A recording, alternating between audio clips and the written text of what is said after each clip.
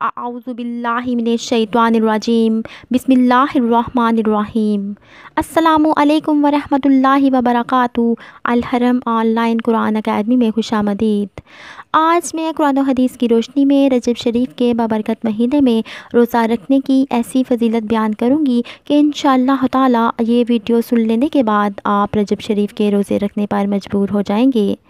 यकीन करो कि अगर आप इस वीडियो पर अमल कर लेते हैं तो आपके दर्जात अल्लाह ताला की बारगाह में इतने बुलंद हो जाएँगे कि आपकी सोच भी अंदाज़ा नहीं कर सकती।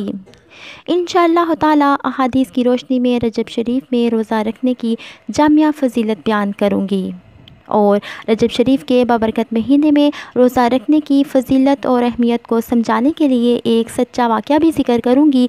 लेकिन वाक़े को ज़िक्र करने से पहले मैं आप लोगों से गुजारिश करूँगी कि अगर आप लोग मेरे चैनल पर नए हैं या पहली बार मुझे सुन रहे हैं तो इसे ज़रूर सब्सक्राइब कर लें।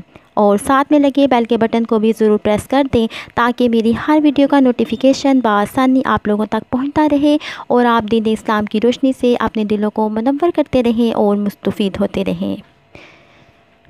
तो चलते हैं रजब शरीफ के बाबरकत महीने में रोज़ा रखने की फजीलत और अहमियत को समझने के लिए एक सच्ची वाक़े की तरफ़ बढ़ते हैं। नाजिन कराम, एक मरतबा हज़रत सलाम का गुज़र एक जगमगाती नूरानी पहाड़ के करीब से हुआ।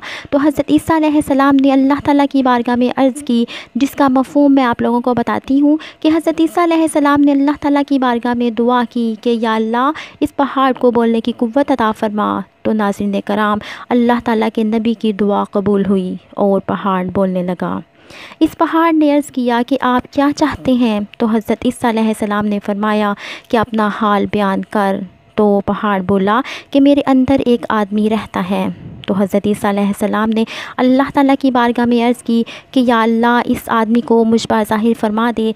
तो हज़रत ईसीम की इस दुआ पर पहाड़ एकदम एकदम शक हुआ और इसमें से एक चाँद सा चेहरा चमकाते हुए एक बुज़ुर्ग बरामद हुए। और उन्होंने फरमाया कि मैं हज़रत सैदना मुसा कलीमुल्ला का उम्मती हूँ।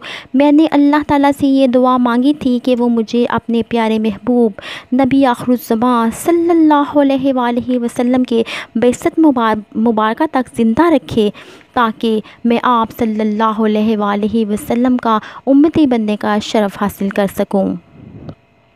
तो नाजिन कराम, इस पहाड़ में से जो बुज़ुर्ग बरामद हुए, उन्होंने फ़रमाया कि मैं इस पहाड़ में 600 साल से अल्लाह ताला की इबादत में मशगूल हूँ। 600 साल से मैं इस पहाड़ में अल्लाह ताला की इबादत कर रहा हूँ। तो हज़रत ईसा सलाम ने बारगाह खुदावंदी में अर्ज़ की कि या अल्लाह, इस रूह ज़मीन पर कोई इस बंदे से भी बढ़ कर तेरे यहाँ मुकर्रब है, कोई इससे भी बढ़ कर तेरे यहाँ इज़्ज़त वाला है। इस छः सौ साल इबादत गुजार बंदे से बढ़ कर भी तेरे नज़दीक कोई इज़्ज़त वाला है तो इरशाद हुआ। सलाम, उम्मत मोहम्मदी सल्लल्लाहु अलैहि वसल्लम में से जो माह रजब शरीफ का एक रोज़ा रख ले, वो मेरे नज़दीक इससे भी ज़्यादा इज़्ज़त वाला है। सुबहान अल्लाह तो नाजिन कराम, इसके साथ साथ रजब शरीफ में रोज़ा रखने की एक और फजीलत सुन लीजिए कि जो कोई माह रजब शरीफ का एक रोज़ा रखता है तो अल्लाह ताला उसे क्या इनाम फरमाते हैं? हज़रत सैदना अनस बिन मालिक रज़ी अल्लाह तह से रवायत है कि नबी करीम अलैहि वसल्लम ने फ़रमाया कि जिसका मफहम है कि जन्नत में एक नहर है जिसका नाम रजब है। और जो दूध से ज़्यादा सफ़ेद और शह से ज़्यादा मीठी है तो जो कोई रजब शरीफ का एक रोज़ा रखेगा तो अल्लाह तबारक व ताली उस नहर से उसे सिराब फरमाएँगे।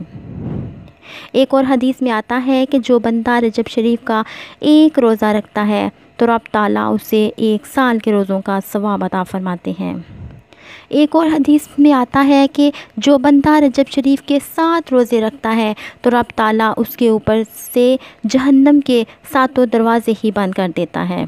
और जो रजब शरीफ के आठ रोज़े रखता है तो अल्लाह ताला उस बंदे के ऊपर जन जन्नत के आठों दरवाज़े ही खोल देगा।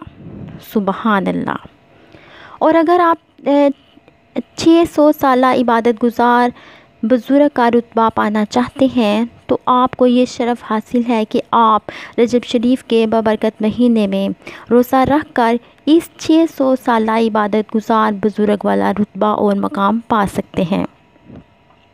बहरहाल अल्लाह ताला से दुआ है कि अल्लाह तबारक व ताली हम सबको रजब शरीफ का अदब एहतराम करने की तोफ़ी अता फ़रमाए और इसमें कसरत के साथ रोज़े रखने की तोफ़ी अता फ़रमाए। आमीन।